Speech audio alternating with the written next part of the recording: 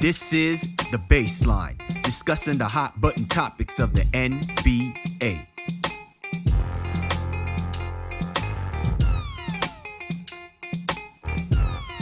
Welcome, everybody. You're tuned to The Baseline. Callie Warnshaw discussing the hot button topics of the NBA. We are only a few weeks away before we say goodbye to 2023, hello to 2024.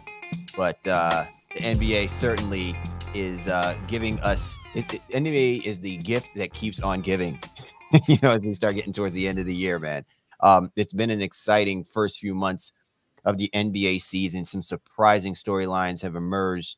You know, some teams that have elevated themselves into the conversation of being playoff contenders. You know, where where in many regards we probably wouldn't have even sniffed them as being a top 10 possible team um, the, the surprising quick start, so to speak? Can it be maintained? So, you know, it, it's great because as we near, you know, 2024, the very first month, uh, which is, you know, of, uh, of the year, there are just important themed NBA, you know, matchups that are taking place that is going to really kind of spark up, you know, the momentum going into NBA uh, All Star weekend and stuff. So it's just really an exciting time if you're someone who's watching you know, the NBA, you know, become the premier sport, so to speak, um, as we get towards the end of the year. And who none better to continue to talk about it um, and and roll with the, the, the greatest of the greats, man. My man, Mr. Warren Shaw, repping out of Fort Lauderdale, Florida.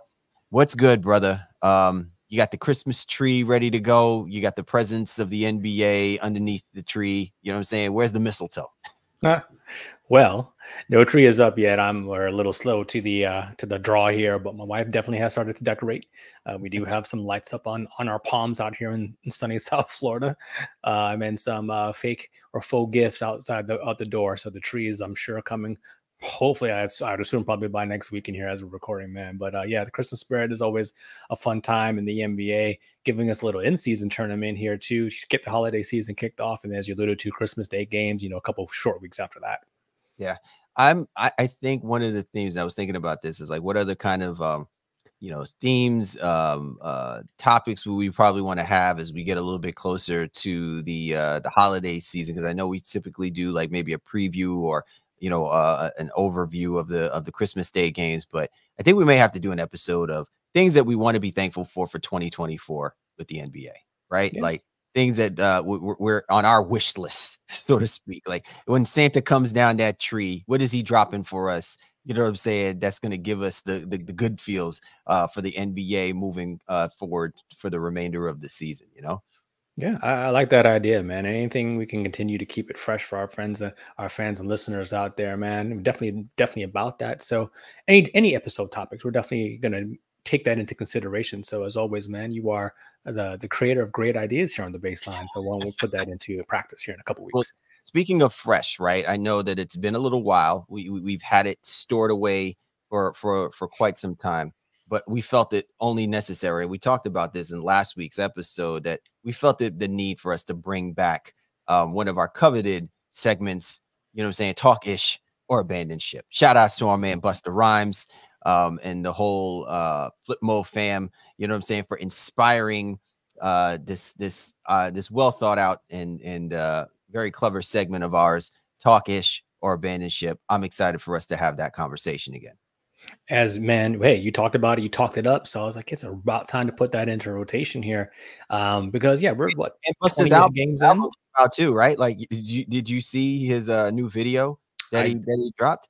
You know, Bus yeah has a whole new album. Um, Bus has it's going on tour as well too. So um, I'm pretty excited. I've heard a couple of tracks from that as ready, and it, it's vintage, yo. You know, Bus is still out here. He's doing a great job, I think, mixing in new school and old school. You know, with uh, especially with the features that he has out there. Uh, so if anyway, we're we're a basketball show, but you know we love hip hop here, man. But definitely, I'll check out that new Bus album, man. Pretty tight. Absolutely. So, um, you know, this week's show we're gonna do a little talk ish or abandon ship, but basically you know what we what we do is we kind of revisit some of the um the thoughts that we uh presented um at, during the uh you know preseason or before the season began in the off season um our predictions and whether or not you know we still think that you know we should be talking ish about you know staying on that or it's time for us to abandon ship on that on on that thought that we had back you know I'm saying during the off season. So it's a really good episode, something to kind of you know put us in, uh, keep us in check, so to speak, of whether or not we're really holding true, you know, what I'm saying, to our predictions or you know our, our our our commentary about what we think is going on with certain players or teams, you know, as they're stated. You know what I'm saying? So I, I always find it to be fun as well too, because you know Shaw likes to hold me in check, and at times I tend to forget stuff that I didn't said two three months ago. But you know, tape don't lie hey, man, hey, there's a lot going on for both of us, brother. So you know, hey, if we forget what we said, this is why we kind of do what we I mean, do here, man. If this wasn't if this wasn't podcasting, man, we'd be politicians right about now. So you know, nah. I'm saying, but I, I, I don't want to get George Santos out of the. No, I, I don't want to get George Santos out of the out of the uh, out of the basketball podcasting. So you know, you got to keep me in check, bro. Oh, please, you know, I, I, don't, I don't want to be uh, Senator Davis from The Wire, so let's, keep everything in line. you know anyway, great episode. So you definitely want to tap in. As always, get at my man Shaw at Shaw Sports NBA or get at me, Game Face Lee, the show's Twitter handle at NBA Baseline. If you want to catch this episode and all of our previous episodes, be sure to go to www.nbabaseline.com. Also, if you're checking this out on YouTube and you see the blue and white logo, that's the 19 Media Group family. 19 Media Group, you running these content streets. So be sure to check us out. To also check out the the plethora of great content uh, creators and and people who are putting on some excellent shows uh, covering music, culture, sports, entertainment. You want it, we've got it. So go to www.19mediagroup.com. All right, Shaw. So let's get right into it, man. Let's do a little talk ish or abandon ship, man. And uh, again, excited for us to be able to do this because it's been a minute. So I think the first team that we want to kind of talk about um, on whether or not we want to continue to keep talking our ish or abandoning ship, the Orlando Magic. And our prediction of us saying that this was basically a tier four type of team, that while we think this team was going to be, you know, could be moderately improved, we didn't think that the parts, because not understanding or we're within, we were confident that they were going to be a team, you know, who could find themselves being playoff contenders. So for you, are you on the side of still talking at ish or are you ready to abandon ship? Yeah, I got to abandon ship on our original take. I think we had them in a tier four team out of the playoffs. You know, hey, they need to make a make a strong step in the right positive direction. And know you had Steven on the show here not a couple weeks ago, and you know they said playoffs are are kind of what they expect. But I think you and I were just a little bit like, all right, probably still another year of development, especially with the rest of the Eastern Conference. But this team knows how to play defense. Uh, they believe in each other. Uh, they are long. They get it done while people are in and out of the lineup. That doesn't even matter anymore. That used to really be a hindrance to them. They've role delineated guys like Jonathan Isaac. Like, listen, dude, you, ain't got to worry about doing much. This is not your team.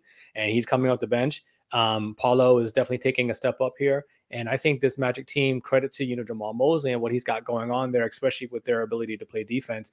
This is a team that's I'm not I'm I'm hesitant to say they're an Eastern Conference contender, right? As they they're second in the East as we record, but to say that they were going to be out of the playoffs seems a little bit foolhardy. So I'm definitely an abandoned ship there, and think they're probably going to be solidly in the playoff chase here, um, above that six line.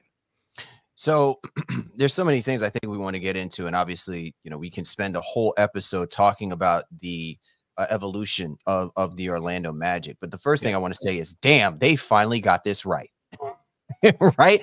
And I hope us talking about it is not going to jinx this team and jinx what they could potentially have going on by the end of this season. Because I think win, lose, or draw, what you're seeing from this Orlando Magic team is something that can be sustainably successful for them for the next few years. And, and I think that's what a lot of people are hoping for.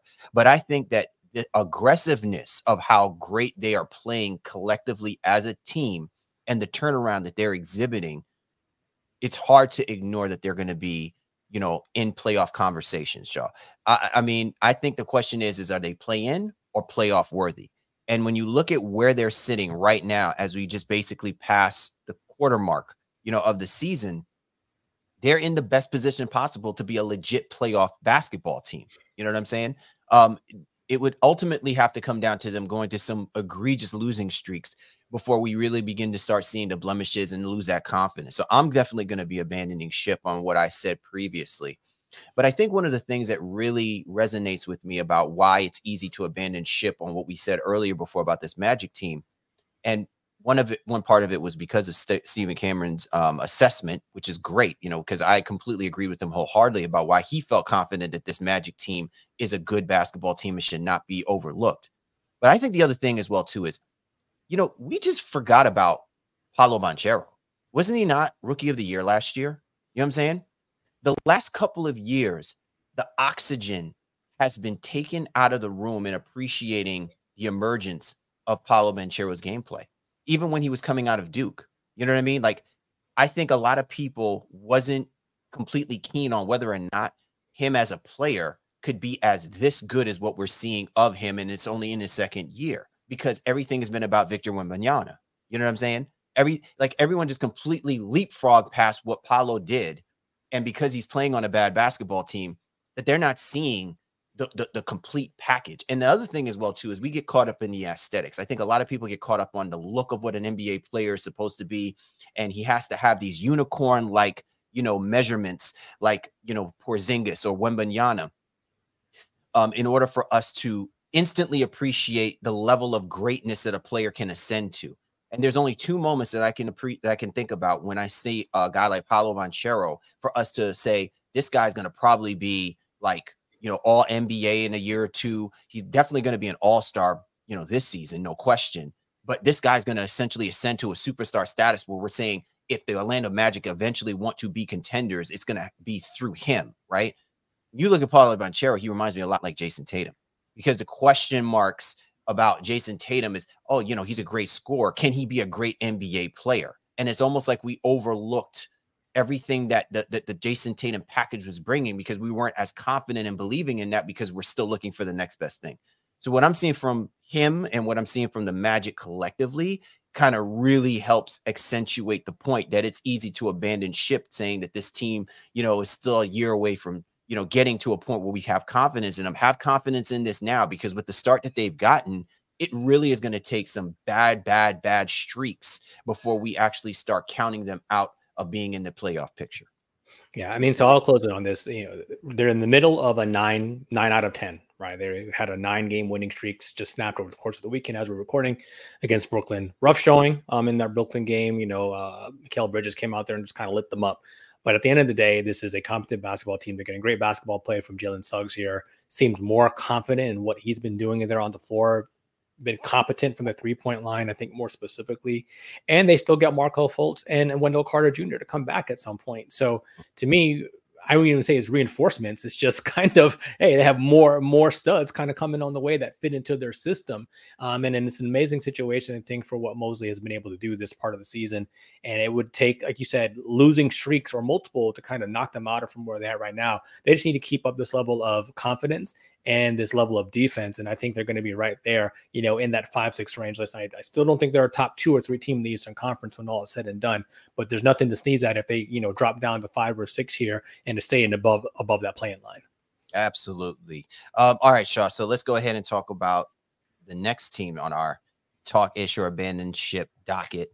Um, and that's going to be the Cleveland Cavaliers, who we had predicted them or put them in a tier three type space, right? So what is it that you're getting from them? You know what I'm saying? Uh, you still believe that this team still has that tier three in them, or are you ready to abandon ship on that sentiment? Um, I'm gonna I'm gonna hesitantly talk my ish and and feel like this is a squad that will will get it together. Garland and Donovan Mitchell have both missed time to start the year. Jarrett Allen missed time to start the, the beginning of the year, and I think that just was wonky for them. Uh, I feel like this is a team that really should be in the in that top four or five situation here when all is said and done. I, I believe in JB Bickerstaff, you know, as a coach, uh, and I think that Cleveland has the ability to play some really solid defense, especially with Mobley leading that front line and Jarrett Allen back there as well too. Uh, I feel like they've addressed the issue to some degree at the small forward, while Max Strus is an, an NBA All Star. I think he's a very competent basketball player at that three four position, and obviously can space it. Uh, so if they do a better job of getting him like good open looks where he's not having to create and try to do too much, uh, I think they'll be all right at that three position and should be a pretty good basketball team moving forward. But they have shown some signs. They have some ugly losses this year, uh, but I'm going to attribute that to the guys being in and out of the lineup here, and hopefully Cleveland Cavaliers can be the topper topper echelon team in the Eastern Conference as we predicted.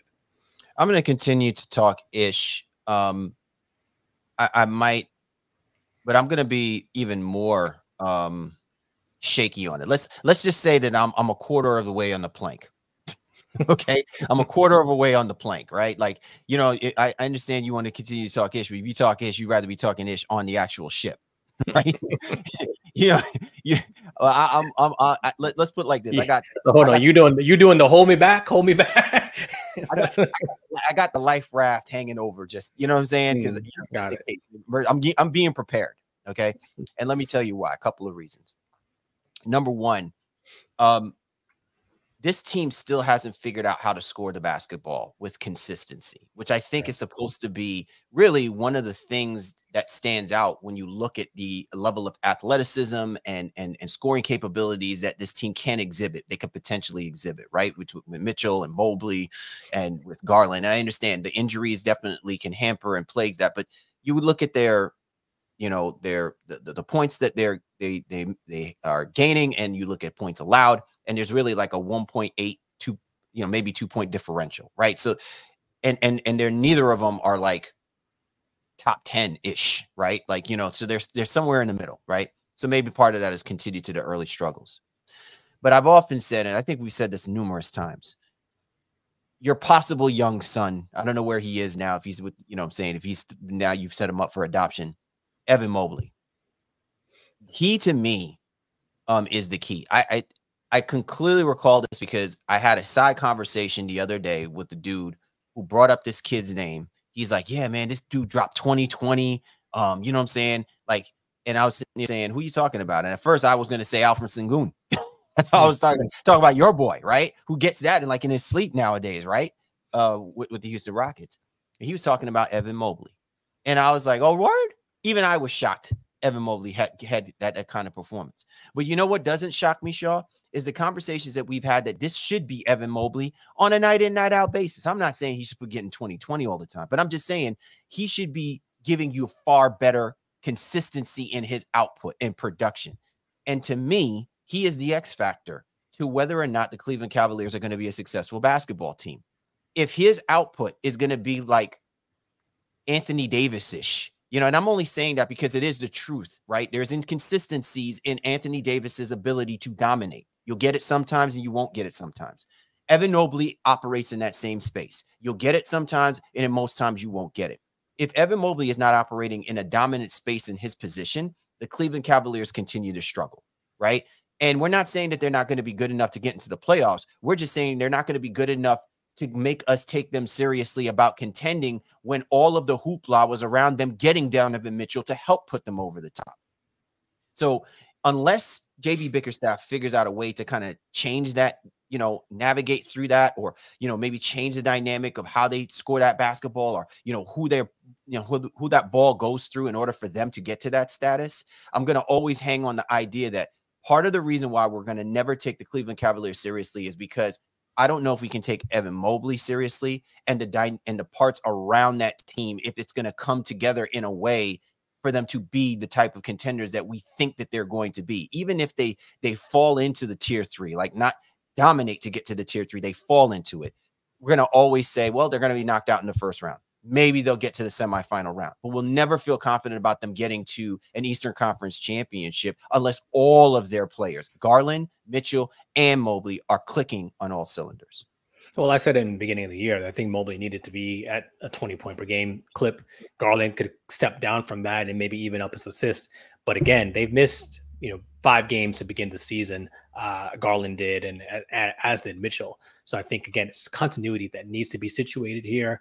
I'm going to stand on and continue to talk ish about Garland being the guy that needs to step back to allow Mobley to to progress. I think offensively, uh, but at the same time, as you're alluding to, Mobley has to want it. JB Bickerstaff has to put him into positions in essence to to be successful as well. But I think between all of those factors, uh, that has to click in a way that allows him to be successful. So he has to want it, be put in position in essence to to, to get there as well too, and that somewhat has is going to be at the behest, if you will, of JB Bickerstaff and even Darius Garland when they're on the floor together. Absolutely. You're tuned to the baseline. Callie Warren Shaw discussing the hot button topics of the NBA. And this is our talk ish or abandoned ships uh, episode. uh, where we're basically revisiting some of our predictions and analysis earlier this year and uh, seeing how whether or not they've come into fruition. Um, if we can continue to keep talking that issue, or it's time for us to, you know, I'm saying, walk that plank get off the boat with them. All right, y'all. Let's talk about the Houston Rockets. Right, this is a, a Houston Rockets team that this it surprised a lot of people. They're playing basically 500 basketball. Like right now, as we're recording, their game under 500. But I don't think anybody anticipated them to be as competitive as they have been already the early outset of the season. And in the gauntlet of the Western Conference, we really thought that they were going to be, you know, um, the, the the whipping boy for you know for most of the top tier teams. But they have been holding their own. So do we still consider them a tier five type uh, type basketball team, Shaw, or are we looking at them as a team to take seriously and we abandon ship on that earlier uh, prediction? See, I mean, I, I'm going to qualify. I'm going to take them seriously, but not in the essence of like, you know, they're jumping into uh, a home court advantage in the Western Conference. Jumping into uncharted waters. right. Like, so this is a, a, a basketball team that's better than expected, but there's still some struggling and very concerning things that are happening. Um, as we record, just a game under 500, but they have lost every single game on the road. so they are eight and nine, and they are are 0 and eight on the road. Uh, that's not good basketball. Despite the discipline that the Udoka has put into place, they are one of the top defensive teams in the league, which we we kind of expected them to take a leap, but maybe not to this level at, at this at this grade of depth this fast. Um, so those are things that they can absolutely continue to build on. I think Jalen Green is still struggling to find his role within this offense. We haven't seen the level of consistency there, but that's because Sengun has been so dominant and so good, um, kind of controlling that offense, as I can continue to say, as the, the great value brand of, of, of Jokic. Uh, Dillon Brooks has been really good from the three point line uh, for the most part. Um, and there's a lot of great habits there. So I think if Jalen Green specifically can give them some level of consistency offensively, uh, they get Taurean back and he plays healthy and guys like that, then this is a team that can get out of that tier five where we had them where they beat absolutely no shot um, when they can actually you know make some noise and maybe maybe maybe fight for a play in here too. So I'm uh, I'm definitely mm-hmm. going to abandon ship from our earlier prediction that they would have been competing for a number one draft pick uh, this year because I think they're a lot better than than that as as they've shown here this season. Yeah, I'm going to abandon ship on the belief of them being a tier five basketball team, but I'm gonna still continue to talk some ish about this the, the dynamic of this team a little bit because I'm still I'm I'm still curious and still waiting to see um what this team really could potentially look like. Um, and the reason why I say that is because you know how the makeup or the identity of some teams um, can be seen through who you draft. It could be seen through who you acquire through free agency. You know, there's a it, it, this makeup of this team is a very unusual team. I uh, I think about the um the movie like uh the losers or uh the uh the unusual suspects, right? Where you take a band of mishaps, outcasts. You throw them all together, and you basically say, "What do we got to?" Oh, like the replacements. You take a band of mm-hmm. mishaps and you say we put them all together, and they have like this one magical season that opens up everyone's eyes. But then, you know, to the real people who kind of really look at the makeup of this team, the dynamic of this team, and what's driving them, and what's motivating them, and what's is it sustainable through the course of you know the next couple of seasons. And I would be interested to see whether or not what they're doing is sustainable. And is it sustainable in that Western Conference? Clearly, it's not. I was gonna push back on you on the on the sediment Shaw about you know when you look at this team, this team can't win on the road. I'm like, here's the funny part: you look at the Golden State Warriors. This is a team, right, like that that likes to play on the road now, but can't freaking win at home. you know what I'm saying? Like you look at their home and road record, it's just ridiculous. And last year, this was the, the Warriors were a team that could not win on the road for crap. You know what I'm saying? But they were most most dominant at home. So it's kind of funny how this all plays out. I'm sure that the games and the scheduling will kind of level that off a little bit. But you know, I just look at the team in and of itself. And while they are showing you better defensive effort, which I think that's the question here, like what you were getting from the previous iterations of the Houston Rockets team is just effortless defensive basketball. And clearly Udoka has implemented and and put more onus on those guys, holding more accountability that they should be better effort being played on the defensive side, but you can clearly see they're struggling to score that basketball. And part of it is because a lot of those guys now are playing on on this roster. You can see where their reliability to shoot the three, their reliability to hit mid-range jump shots, some of it can be clearly compromised. To me, you have the only one dominant, you know, presence in Alperen Sengun, who's showing you that he can be a matchup problem uh, to the opposition. You know what I'm saying? And can be a go-to guy in certain respects, but he's still learning how to play this game. He's still learning to evolve. So all of it is going to have to come together, and it's just going to be interesting to see if Udoka making can can make that happen within that very first season, like he did with the Boston Celtics. Uh, and, and I think again, right now, what fifth in defensive rating, so all immediate impact, I think, on that side. But the offense has got to come around and, and, be more consistent. I think VanVleet can obviously shoot it a little bit better right now, shooting 40%, but we know his percentages have been down even from the Toronto days. So VanVleet's got to figure out a way to, to get more efficient and better better shots and get that shot to fall a little bit more often. Jabari Smith has played pretty well here in, in, the, in this season. So uh, I don't think there's anything to sneeze at there too. It really stems from can Jalen Green and VanVleet give them better offense uh, efficiency offensively, and that'll help Sengun even more. And even with that going on, Sengun's still almost averaging six assists. So you know, and those are going to be the guys he's primarily passing to, and Jabari and the Dillon Brooks out for, for cutting, and then Tari Eason as well too as he works his way back, you know, from injury. Uh, I really like this Rockets team. Um, they still need Amen Thompson to get back at well at some point too. They're you know they're young rookie, uh, and I think there's a, a possibility for this team to to hover around 500 as they are here now, which would put them well above the tier that we originally put them in, and like I said, could have them fighting for a play-in spot. Uh, and I think that'd be a huge step forward for this Rockets team that has lacked a lot of discipline and a lot of just you know real professionalism in the years previous to this. You're tuned to the baseline. Callie Warren Shaw discussing the hot button topics of the NBA. Coming up, we're going to continue our conversation of talk ish or abandon ship uh, where we dig into some of our earlier predictions and see if whether or not we're still on it or it's time for us to walk the plank on that sediment.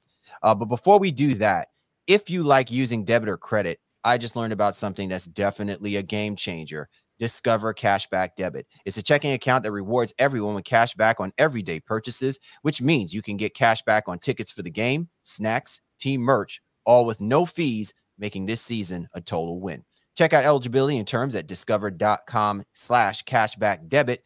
Discover Bank, member FDIC. More baseline with Callie Warren Shaw. Don't go away.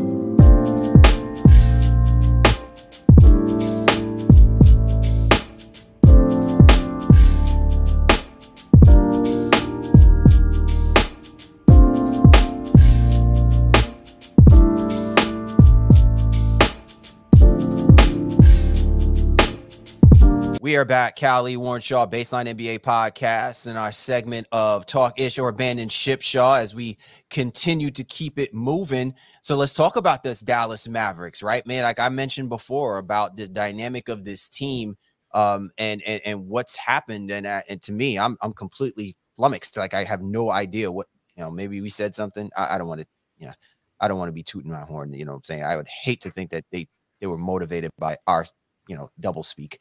But uh the dallas mavericks man i've obviously shocked a lot of people as being one of the top tier teams in the western conference at the early outset of the season. We had them predicted as a tier four team shaw. Talk ish or abandon ship on the dallas mavericks. Talking ish man. I listen luka came out the gate. John blaze you know man on fire the whole nine. Uh shouts to him just had his first child. I mean he's still hooping uh, but they still have some levels of inconsistency, you know, defensively. While they're eighth in offense or 22nd in defense, uh, and I just still think, despite the hot start and things have looked a little better than I would have expected, I still think this is a team that is at the play-in line. Um, so right now they're sixth in the Western Conference, which isn't bad. You know, 11 and eight. There's some other teams in the West that probably should be better than they than they've shown thus far. Um, and I think if those teams start to get better, that probably pushes Dallas down back to where we originally had them. So I don't think this is a bad basketball team. I just think they're teams that are better overall in the Western Conference, and they probably haven't shown those chops just yet, with the exception of Memphis, who we spoke about last week. And you know, no reason even to bring them up here in terms of the uh, talk short ship conversation. So everybody else, though, Golden State, the Lakers, etc., all those teams could probably better than, than they've shown, which would make it tougher for Dallas to stay in that six seed that they as at they're currently in right now. Yeah, so I'm gonna act. I'm gonna make like our, um, you know, our our partnership uh, with Blue View Footwear, and I'm a I'm a step lightly on, on on my sustainable thought about the tier four with the Dallas Mavericks.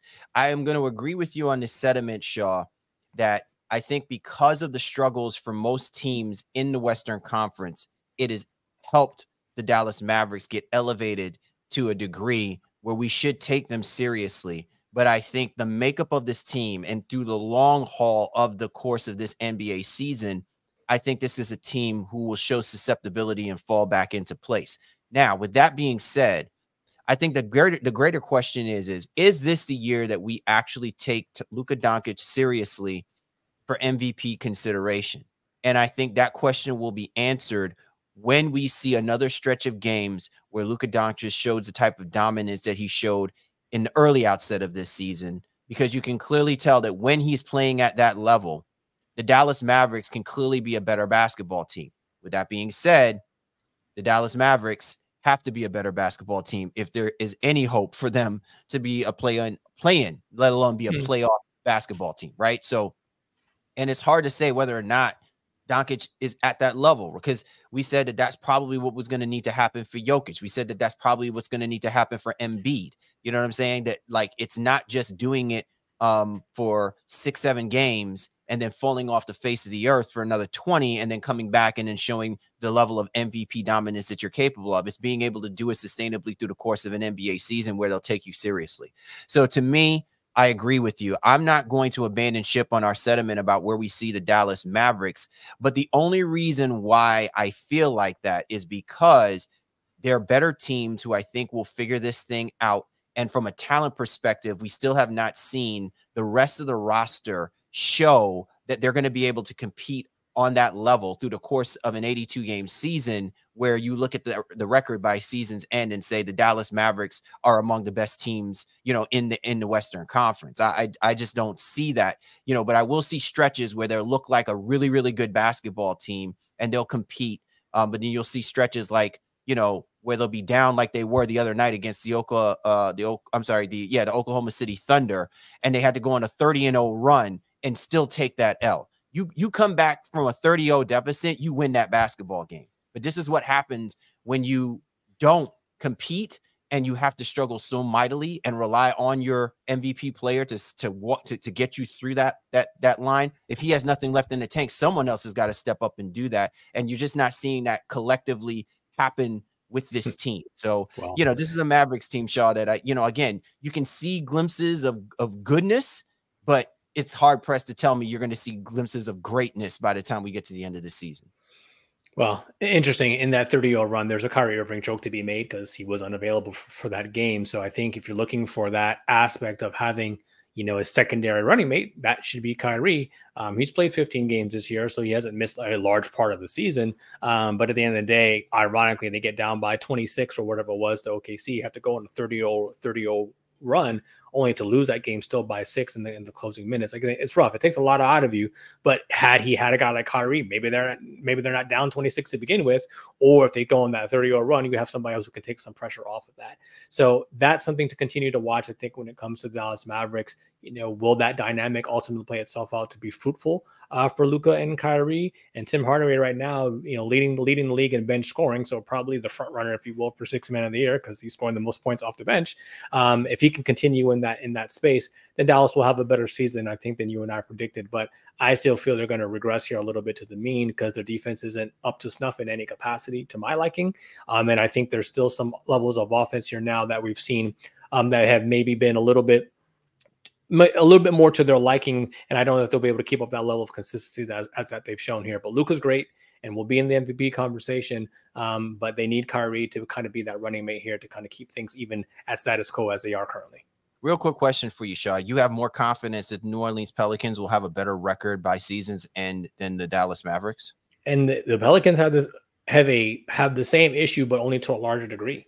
Can can their core stay healthy? Ingram, McCollum, Zion, even Valanciunas. Valanciunas has been healthy, uh, but they need all those guys. And um, to me, there's more variables there that make it harder. But New Orleans is this weird team that can beat anybody or lose anybody. Um, so that that makes me nervous for the Pelicans. And uh, you know what? I would probably downgrade them had I had the confidence to even put them in this list here. So I'm probably would be uh, an abandoned ship on my level of confidence on the Pelicans. Impromptu um, talk ish or abandoned ship because I don't know if whether or not we actually had. Zion Williamson in a conversation of saying Zion Williamson will ever win an uh, uh, uh, MVP uh, at some point through his NBA career. So, uh, but I'm going to put you on the spot real quick, Shaw. Would you talk ish or abandon ship on the idea that Zion Williamson will win an NBA MVP award? Uh, I don't even feel like I'm put on the spot. I would abandon ship on that all day. There's, there's, there's no, there's nothing about what we've seen thus far. Yes, he's had one, the one dominant season, uh, but do we ever think he's actually going to play 65 full games? And with the comments he made earlier in the year when they were really struggling in terms of I'm trying to get on board and trying to figure it out, and those types of things concern me. And not to say that he can't figure it out, but um, if you're asking me right here today in December in the year of 2023 that's that's a that's a hell no. I don't think he's an MVP candidate in the in, in waiting, if you will. And isn't it amazing that during this time span we don't hear people talking, right? The same people that were bigging him up, you know, Shaq, all of these cats talking about, oh, you know, he's the next guy in the line. He's gonna, you know, we don't hear them talking like that. You know what I'm saying? Oh. They'll get to a point where they'll talk talk about him and what he's not doing, but they'll not acknowledge the fact that they had already had this dude ascended to be winning MVP titles and and we what we kept saying, just wait, just wait. You know what I'm saying? I mean, is is this guy he can be dominant, but it doesn't mean that he can be MVP level, and it doesn't mean that he can't be capable of it. But I just don't see someone. I just don't see it in him where he's going to go out there and he's going to be your MVP yeah. kind of guy. He's a guy yeah. you you complement with, you pair him with someone, yeah. maybe an MVP like kind of player to allow him to be dominant but he is not that he is not that dude, man. He's not. And I'm not saying to be disrespectful, but I think it highlights what we're talking about. I have more confidence that Luka Doncic will win an MVP an, an NBA MVP trophy sure. before Zion Williamson. Yeah, the odds makers on that, I know they wouldn't have to work very hard. So you'd probably have to wager a whole lot to even gain money on on that specific bet. The Pelicans are definitely going to be a team that's uh, the sum of their parts. And while Zion will be a, a straw, if you will, that stirs that proverbial drink, I just I agree where I don't think he's the lead guy. It's it's the combination, the culmination of all the guys there that can make the Pelicans successful, especially with him being healthy and playing well. But I don't think that he's in an MVP stage right now. And I think we have a long, long way to go before we get there. That doesn't mean he won't have a great career. Doesn't mean he won't even be an all NBA and all stars, et cetera, et cetera. Uh, but when you think about MVP, that's a very, very special designation. And we're just a long ways away from that right now. Absolutely. All right, Shaw. Final talk issue abandoned ship, the team edition of the segment, Los Angeles Lakers. We had them pegged as being a tier one team. Are you continuing to talk that issue? Or are you ready to abandon ship on the Los Angeles Lakers being one of the top teams in the Western Conference? Let me be very clear. I'm gone. I'm out of here. Roadrunner style. Oh, you mean you were already you were already loosening the rope on the on the on the life raft that I had set up earlier? Is that what you were doing? It is, Damn, bro, you could have given me a heads up. It's not like no. I didn't want to jump on that boat with you. Listen, I, I definitely drank the Kool Aid of of what they had uh, going into the season, and they will tell you, um, and they're not wrong. They've had a lot of injuries as well. Gabe Vincent, Rui Hachimura, et cetera, et cetera. Guys haven't they haven't had their full complement. I think D'Angelo Russell has been really good for them. Uh, Austin Reaves has not taken the leap. I need a manship on that too. I think he's been good, uh, but I don't think he's been next level. And now he's coming off the bench uh, because things weren't going. But first five games, you heard the Lakers Lakers faithful talking about, oh no, we need a third star, and I thought we abandoned that that concept itself. So to hear them saying now that they felt like, oh well, they need to get into the Zach LaVine conversation or the DeRozan conversation or whoever's available conversation to pair alongside, um, you know, AD and, and LeBron here now, that's just it's it's indicative of a team that doesn't have the same level of confidence that it and swagger that it did coming into the season, where everybody, including ourselves here, thought they were number one uh, or in the conversation for for the Western Conference title, and they can shift things and make things happen. And you know, Pelinka is known to tinker. I think as we've seen here in the short time here. Uh, but as currently constructed, this is not a team that I would uh, be be be confident in talking to Ish about them being at the top of the Western Conference. Yeah, so I, am I'm, I'm abandoning ship and I'm putting that sh- I'm like I'm setting the ship on ablaze. Like I, I I I'm trying to tell people they need to get up off this ship. I'm I'm trying to help. You know what I'm saying? Mm. Like the Titanic. I'm trying to direct people.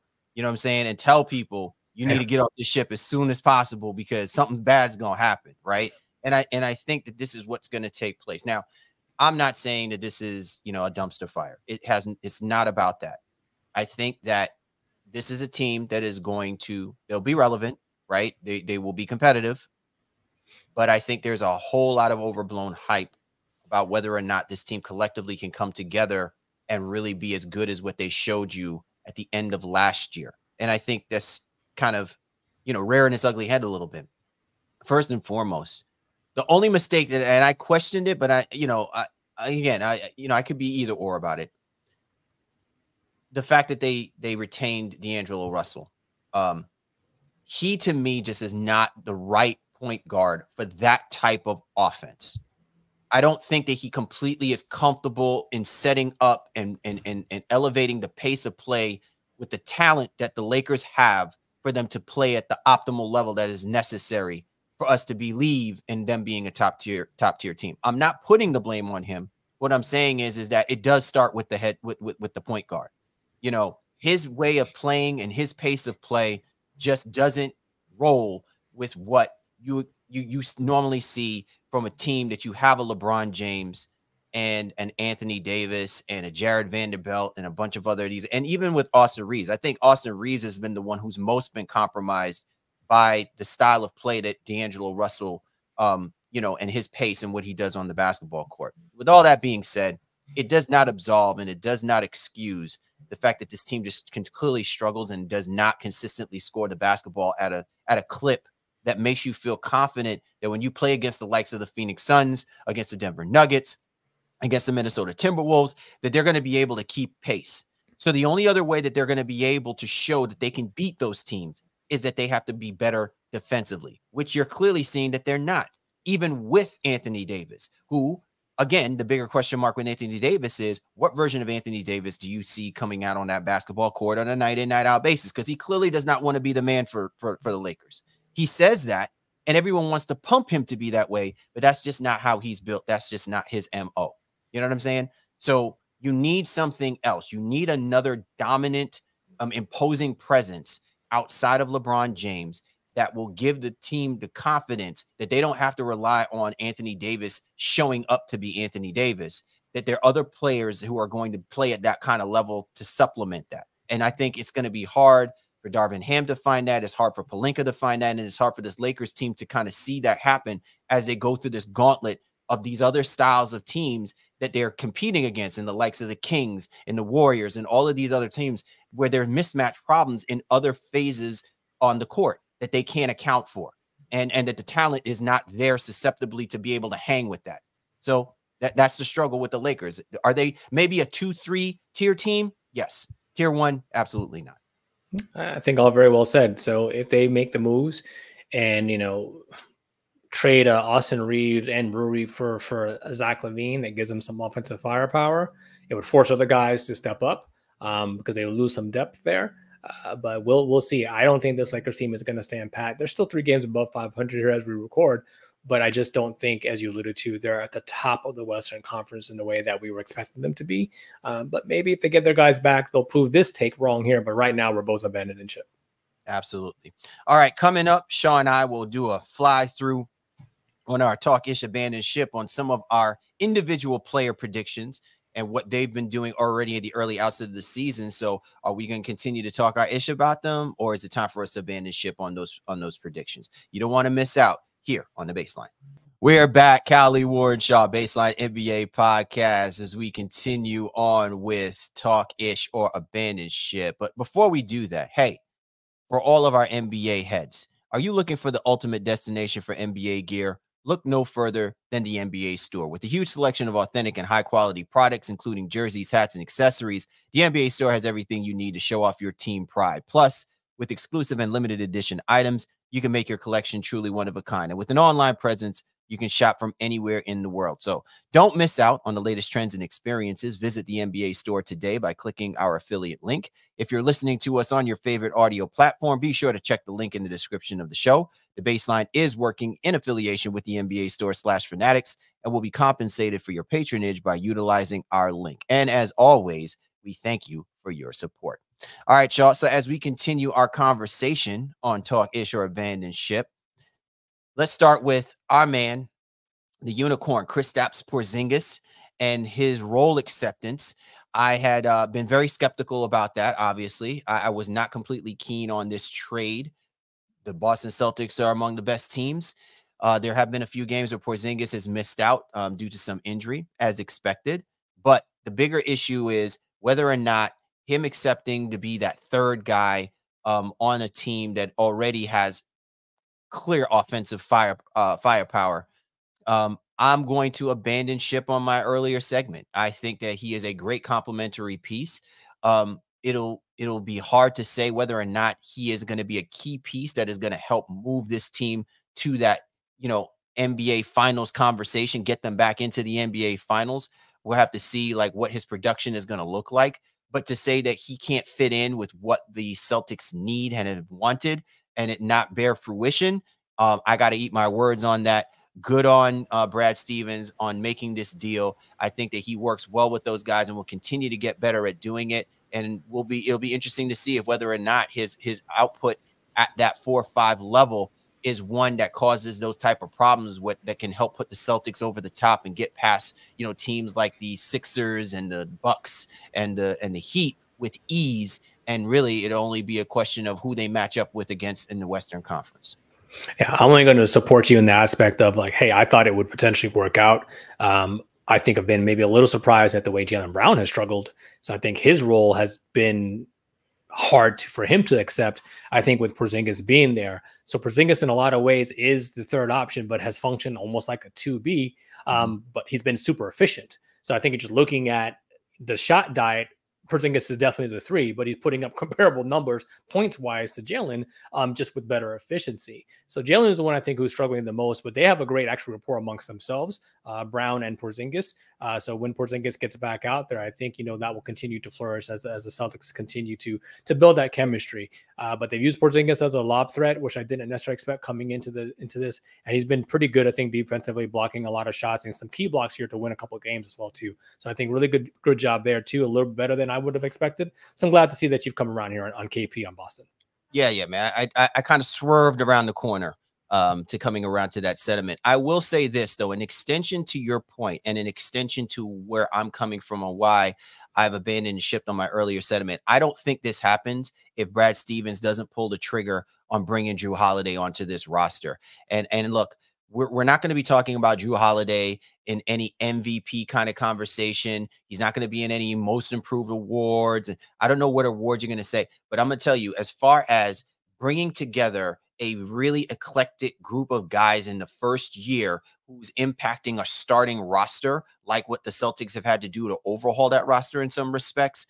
I think that Jrue Holiday may wind up winning the MVP award. Like what he's been able to do, I don't think you get this kind of production from Porzingis unless you have a Jrue Holiday. Now, I am sure that they were probably leaning on Derrick White kind of being that guy. You see, he's getting extensive minutes. I mean, this guy is a Swiss Army knife, like of the likes I don't think I've seen in quite some time. I mean, they weren't even using Malcolm Brogdon the way that they're using Derrick White, which tells you the confidence that Mazzulla has in Derrick White. But when you look at the way that this team is playing cohesively, the backcourt of the Boston Celtics is so essentially important he makes that te- they make that team go, man. He, they say, and maybe to some degree that's part of why Jaylen Brown is struggling a little bit. But I'll take that because I think he will eventually figure it out. But the the the the, the combination of Jrue Holiday and Derrick White cannot be um, overlooked as far as us seeing the productivity and efficiency that we're getting um, from Porzingis and also the the quality shot selection and MVP level elevation. I want to say moderate MVP level elevation of Jayson Tatum that we've already seen in early outset of this season. Good call. Very good call. I'm going to do an in-show audible here, CL, and say let's skip the MVP conversation because okay. you know let's let's be a little better than some of these other shows out there and wanting to talk about MVP so early on. And let's but let's go into the Coach of the Year selection. You know whether or not I'm going to talk ish or abandon ship here. Um, and I, well, OKC Thunder are, are, sitting second in the Western Conference. I picked Mark Daigneault to be Coach of the Year save Jamahl Mosley. I don't know if there's somebody doing a better job. So I'm going to talk Ish, man. I think, you know, what he's got going on there with OKC um, is truly a testament to how they've been able to uh, figure out their their roles, uh, what he has instituting with them offensively and defensively. Chet Holmgren has been, you know, right there amongst the rookie of the year conversation. Uh, J Dub, Jalen Williams has taken another leap here in, in his second year, and Shai Gilgeous-Alexander is firmly within the MVP conversation. So all of those things lead OKC to um, right now second in the Western Conference, and I would be crazy to walk away from that and not thinking that Daigneault and company, uh, Daigneault rather, um, and company can can maintain some level of of excellence this year. Not saying they'll be second in the Western Conference all year, uh, but where I see this as a team that's going to be firmly within the playoff position and not fighting to get in here, which will give him an opportunity to win that Coach of the Year. I got to ask you this question, Shaw. This, since you decided to to to uh, to, to bring up um, Holmgren. How realistic do you think it will be for Holmgren to win Rookie of the Year? I think there's a realistic shot, man. Like as it, it, it and I know people on the surface are going to just look at how badly the San Antonio Spurs are playing, but something has to be said that Holmgren is has been key to this team's ability to be where they are, and his numbers are are very comparable to Wembanyama's, man. And so it'd be hard pressed for me to, to, to, to, think. And do you think it would be the greatest upset in the world with the hype that has already been given to Wembanyama if Holmgren winds up being rookie of the year over him? I don't think it's the greatest upset in the world. There'll be some people who are sorely disappointed. I just think Chet is fighting a super uphill battle because of that hype train, you know, that is going on there. But you know, what is it? 18 and 8 and and two assists, two blocks. I'm just saying, forty percent from three. yeah, no, there's there's there's there's a lot of teeth to that argument, and a team that's winning. He's and he's essential to that team winning in the way that there are. I just think because he's not as freakish, and is probably not going to be on as many highlights as Wemby is. That the hype train might have already like it just left the station. So I, I agree. I agree. I thought Chet was going to be in this thing from the very beginning, and and and should be, and will be to the very end as well too. But as I've seen it play out so far in these first 20 plus games, from a media standpoint, while people appreciate Chet, they're just still awestruck by what Wemby's doing. And I think that awe is probably what's going to carry over to the votes when it comes to rookie of the year, say, assuming he can get to the 65 games, assuming both of them can get to the 65 games minimum that's now in place. Mm. This is going to be interesting, Shaw. It really is going to be interesting. We might have to, we have to, you know, put this one on the shelf for a, a revisited talk issue or abandoned ship. But You know what I'm saying? I- am liking what I'm seeing from Chet. I-, I really am. He's he's he's he's showing me some things, bro. He's showing me some things. All right, Shaw. Um, so as we continue our conversation on some talk ish or abandoned ship, let's go to six man of the year. My prediction was uh Malik Monk. Um, I'm gonna continue to talk my ish about Malik. I think you know, Malik Monk is still, you know, in a position where he can clearly be a, a, a key guy. I know that there's been rumorings about the struggles with Kevin Huerter in the starting lineup.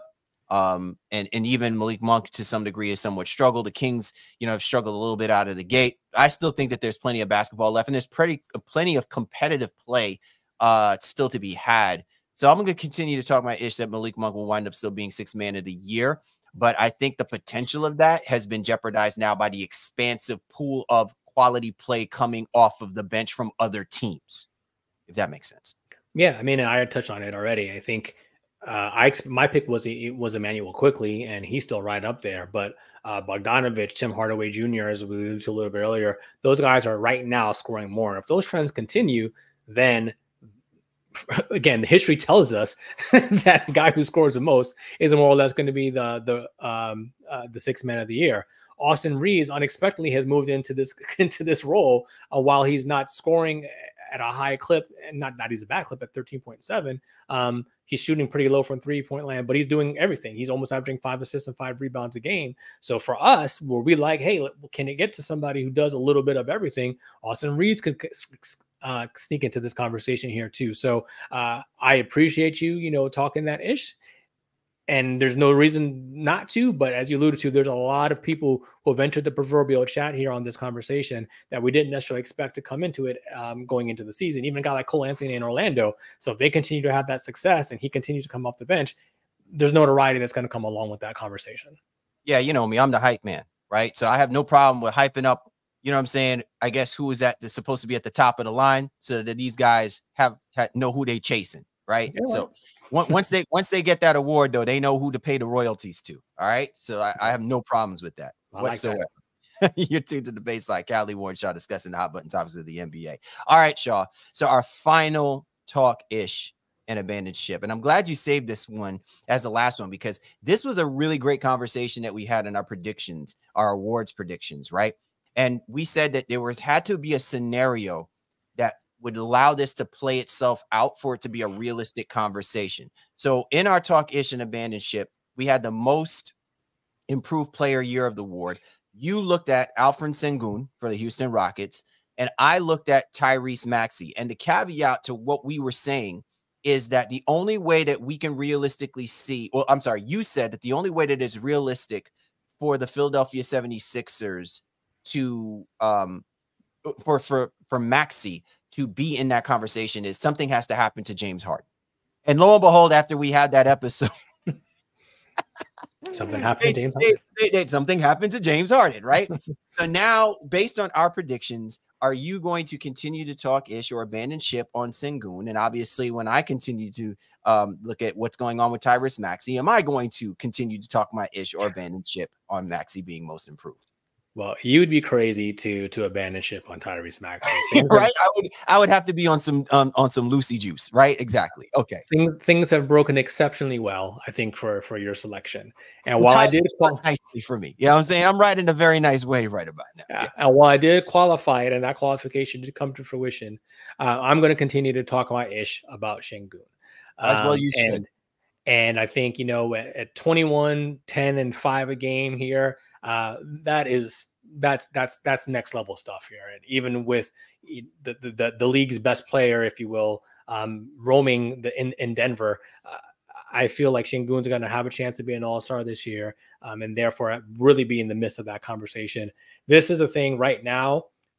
I don't know how you choose between either one of those guys. And I, I, I actually would not split up the award. And this is not me just trying to be dodgy or I don't want to really make an answer. I think they're both deserving. And I split that award right down the middle because they're both deserving. But Maxey is a certified baller. That guy is a boss. He is a blur on the basketball court. He does everything with a great attitude, great compliment to Joel Embiid. I have nothing but glowing things to say about him, but I'm not going to just throw my guy Sengun under the bus uh, because 21, 10, and 5 is, is pretty damn good as well. Okay, so let me go ahead and for you, Shaw, because I don't think a lot of people put Sengun on that radar. I think a lot of people expected him to vastly improve, but not improve to this level. So, and this conversation again doesn't happen until you elevate his name in that conversation. I think it was easy for us to want Maxey to be in that conversation. But again, given the circumstances, it was hard pressed to see if whether or not a guy like Nick Nurse would be willing to pull the trigger and actually hand the reins over to Tyrese Maxey and say, I want you to work with Joel Embiid. Now, I don't know if Joel Embiid had any say in this. Don't care. All I'm saying is, is to your point, we're finally seeing the best versions of what a Tyrese Maxey uh, on your roster looks like. And that to me is all star Maxey, right? Like he's going to be in the all star team this year, no question. Okay. But I'm going to go even one step further. I'm going to talk my issue even one step further. I think he may be the key reason that Joel Embiid will take consideration of coming back to the Philadelphia 76ers because you don't go through these growing pains unless you have the confidence that there's one, two, three players in that locker room who you can clearly see are becoming better players, especially after you've gone out and gotten yourself an MVP trophy. And that MVP trophy wasn't, you know, because of James Harden. That was because of Tyrese Maxey. You know what I'm saying? Tyrese Maxey has been through the wars, sitting on the bench and eventually being on that starting lineup and putting Joel Embiid in the best positions possible in most times. So I feel like this could really elevate the conversation. Now, this is gonna isn't gonna carry into any measures about being most improved for him. The numbers speak for itself. Whether or not Tyrese Maxey actually wins it, or to your point, Shaw, it can go to Alperen Sengun. All good on either side of it because we essentially were predicting that it would take these two players to really elevate the conversation to validate that trophy, whoever winds up winning it. But for the Philadelphia 76ers, it is so critically important because if they're going to keep pace with the likes of the Celtics, with the likes of the uh, the Bucks, with the likes of the Heat, it has to be with the level of play that Tyrese Maxey is playing next to Joel Embiid. Yeah, well, listen, 27 a game. I, I sat here and just speaking with Gary Washburn on another show that I did, you know, covering the Celtics, and we're just like, they're a scary basketball team. Yeah, there's there's there's no answer for him right now. So him blitzing you and giving you 27 is not just happenstance. This is kind of who he is or who he's become right now. And yeah, he's got to finish out the rest of the year and be healthy and, and the whole nine and do that. But there's no reason to think that he won't finish at least above 25 per game at that six seven assist mar- margin you know and right now his assist he doesn't really turn the ball over as well too so he does that he plays at the speed at which he plays at you know one of the fastest guys in the league and stays within control almost 90% from the free throw line as well too 40% from three like what are we doing? This guy is he's really really good and i agree with you that gives should give Embiid all the incentive to to feel like yeah i can make philadelphia my home um just a couple more tweaks on the margins here um and the sixers team i think is going to be right there in the thick of the conversation here in the eastern conference. Oh man. Woo! this has been a good one man. This, yes, has, been, this has been a very very good episode man. I i like when we uh put our proverbial minds together to come up with uh, the, the diabolicalness of, of, of, of, bringing these kind of conversations uh, to our listeners, man. This is this has been one hell of a hell of a ride. Either way, you know what I'm saying. We're gonna have to start elevating our um, our uh, when we are abandoning ship, man. I think I, I think I said life raft. I think we need a speedboat. we need we need to start being a little more lavish and you know, well, I like that. Uh, with our escape mechanisms. yeah, man, living the NBA lifestyle. I'm all, I'm all about that. But hopefully, our fans and listeners will definitely tap in. Let us know what takes you are uh, talking ish or abandoning ship on. Um, and if you agree with our assessment, you know, are we are we jumping ship too early here, only 20 games into the season, or are these trends, you know, what are going to be the norm here for those who we are no longer kind of backing with our original takes. Let us know here. Make sure you hit us up at, on Instagram at NBA underscore baseline or on X at NBA baseline. Absolutely. Once again, we'd like to thank you and yours for the baseline, Callie Warrenshaw. We appreciate you guys. You know we do. And we'll catch up with you next time.